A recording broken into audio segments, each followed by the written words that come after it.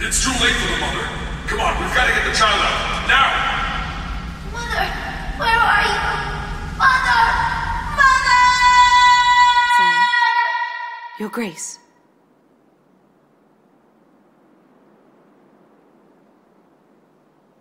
Hmm. That incident grows old and stale.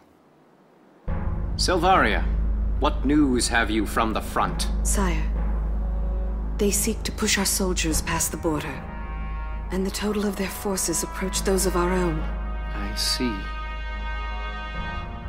The advantage now begins to sway towards the other side. It seems the loss at Naggiar has ended our hopes of strolling through the gates of Randgriz. The fault lies with me. This would be over had I but won at Naggiar.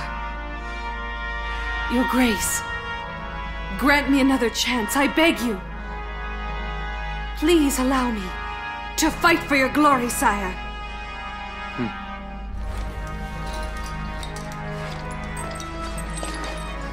Dear Selvaria, do you truly wish to be of help?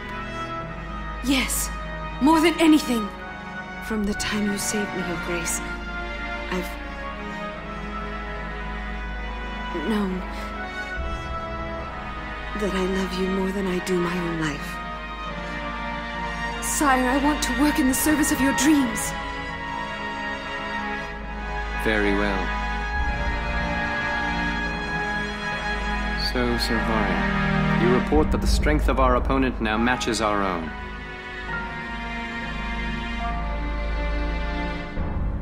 In that case, let the fire of destruction rain down upon them. Use the final flame of the Valkyria. But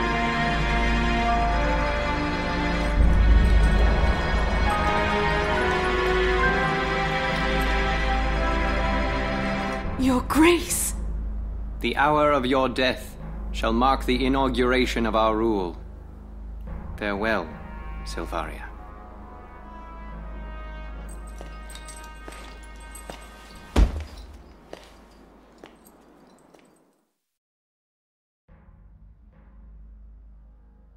Can't say I'm impressed, Your Grace. Making a lady cry? This is simply one of a number of scenarios we'd planned for since before Naggiar. If her prowess as a Valkyria is insufficient, Selvaria's uses quickly narrow to one alone. Anyway, there's a messenger here for you straight from Castle Randgriz. So there is. Let him wait. I have no time for simple messengers now. We are set to commence Operation Steel Scythe. Jaeger, prepare to return back east. What? Then it's. The Marmota's finished? It is. Word has come that it has completed its trial run. The Gallians are hasty to assume victory. We shall see them gutted yet.